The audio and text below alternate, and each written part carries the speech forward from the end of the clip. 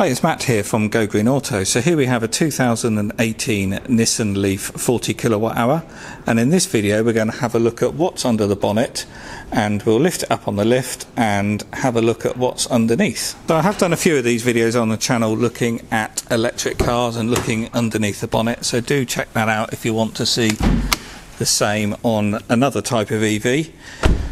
But uh, let's just get the bonnet open here. So looking inside the bonnet on the 40 kilowatt hour, it is very similar to all the previous generation Leafs, the 24 and the 30 kilowatt hour. However, they now put this plastic cover over the top of the uh, motor stack. I really don't know why. It doesn't seem to serve any purpose. Maybe apart from hiding the aluminium cover because these do all corrode as you can see we've got surface corrosion on the aluminium all completely normal but they can look a bit uh, untidy, so I guess that's why they do that, just to smarten it up a little bit, but completely pointless to be honest. So, this lot here is your engine, your electric motor stack. So at the bottom we've got an electric motor that is powering the front wheels, and then on top of that, all the other electronics is uh, inside these aluminium enclosures, and that will be your charging system and your inverter and it's all water cooled as well. So at the front here is a radiator and we've got a coolant bottle here and uh, that is uh, pumping water around this metal enclosure to keep everything cool. These Nissan Leafs do not pump water around the battery pack. Uh, to be fair, not many electric cars actually pump water around the battery pack to keep them cool. Most of them will use um, the air conditioning system to cool the battery. However, on the Nissans, you don't get any of that. The cooling is just done by air blowing under the car while the car is moving. So everything that is orange is the high voltage cables. So there'll be a big cable down the bottom there which you can't really see coming from the battery pack. That's a 400 volt um, DC battery pack, so that's why everything is in orange because uh, it means high voltage and uh, the dangerous bit. Um, and then at the front here is our charging ports. CHAdeMO DC charging port for rapid charging, and then your AC charging port there for uh, slow overnight home charging. So the cables from the charging port are here again in uh, orange to show that it's high voltage.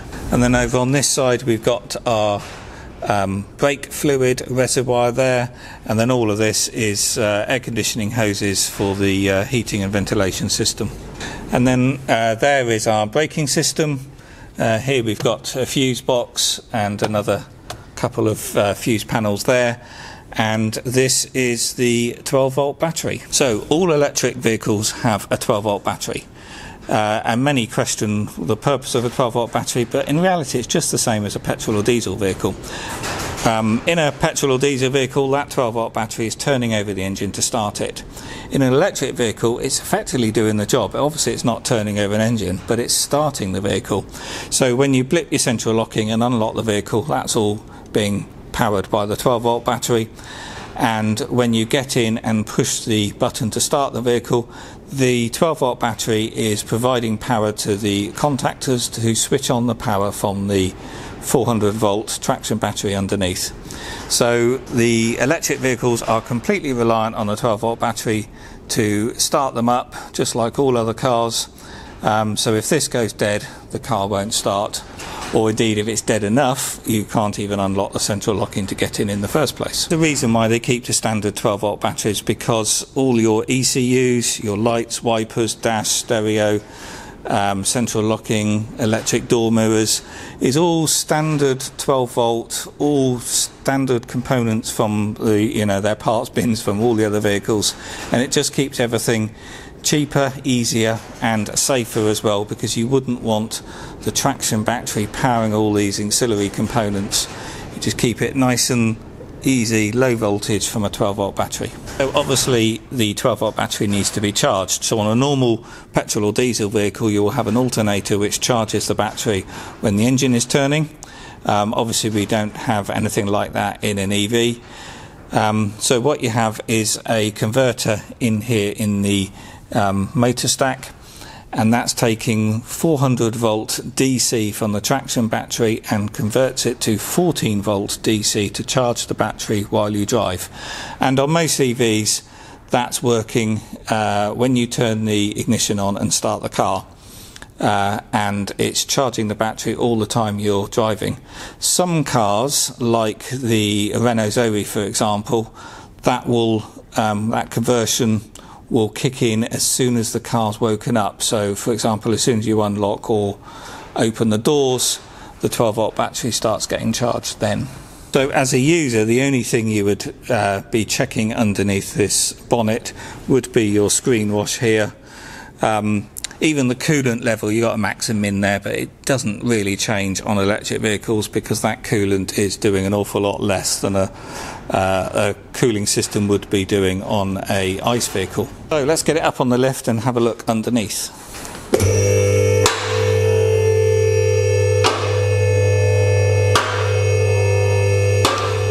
So, not an awful lot we can see underneath because it's got these uh, covers on it um, but obviously here is our battery pack and uh, underneath the uh, engine bay we have got uh, a felt cover here so I'm going to whip that off and we'll have a closer look. So I've taken the uh, engine cover off there and look at that I found a cigarette butt on the inside there. So I can't imagine that's fallen in there from uh, when it's previously had a Nissan service because I can't imagine Nissan techs are allowed to smoke in the workshop. So I guess that's been uh, pulled in off the uh, road surface. So looking underneath we can now see our electric motor here and this is driving the front wheels. You can see a drive shaft there and then another drive shaft there. So at the back here is a small transmission. You don't get a gearbox as such on electric vehicles, but you do get a little transmission which is just reducing the speed of the electric motor down and uh, you've got an oil fill plug up there.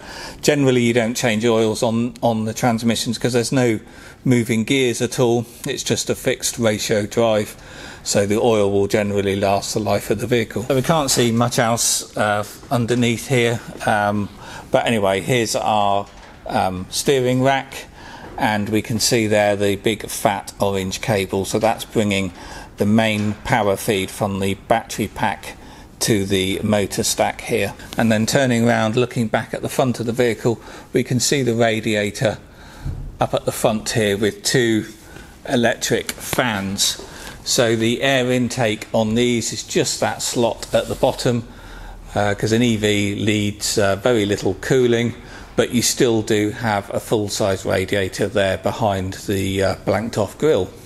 So let's look along the rest of the vehicle. So underneath here we've got the battery pack. There are trays covering the battery um, over the full length and full width of the vehicle. I'm not going to whip these trays off because there's actually not much to see under there. But the battery pack starts about here and goes the full length of the car to about here. But as you can see, um, it doesn't protrude at all. So if we look at the side of the vehicle, we've got the sills here and it doesn't protrude hardly anything, just a a centimetre or two from below the edge of the um, sills. So it's tucked up right underneath the car well and as I said it's all covered in plastic trays so it's all very um, aerodynamic all helps with the range. But there's very little cooling slots. Um, so with a Nissan Leaf they don't have any active thermal management on the pack um, whereas other EVs will um, force um, air conditioning air through the pack and around the pack. Um, some newer ones will use water um, being forced through the pack to cool it, whereas on the Nissans they don't use any of that. Um, but I was expecting to see a few more vents to allow the air to blow through, but there's none really. The pack is pretty uh, sealed from the elements um, apart from just around the top.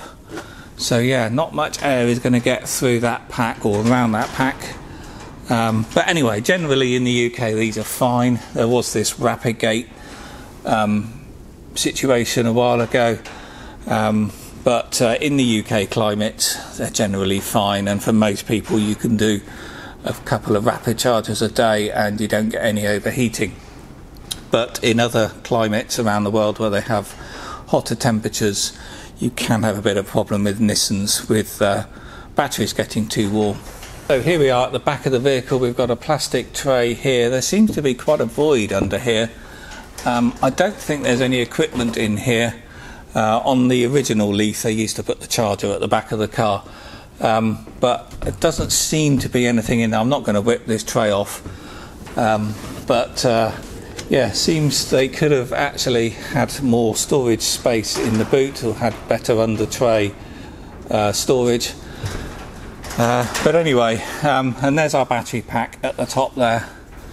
Um, but yeah, not much to see really, and the rest of it standard stuff. You know, we've got our suspension here, shocks, springs. Um, these don't have electronic handbrakes; they still use uh, cable um, foot operated brakes, so there's no electric motor here on the rear brakes.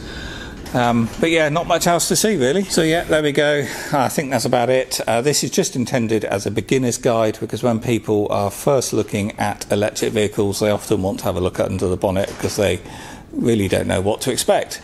Um, so that's the purpose of these videos, and as I said, there's others on the channel on uh, doing the same on uh, pretty much most models of electric vehicles. So if you found this video useful, please do click that thumbs up button on YouTube because that really does help other people find the channel, and uh, more videos coming soon.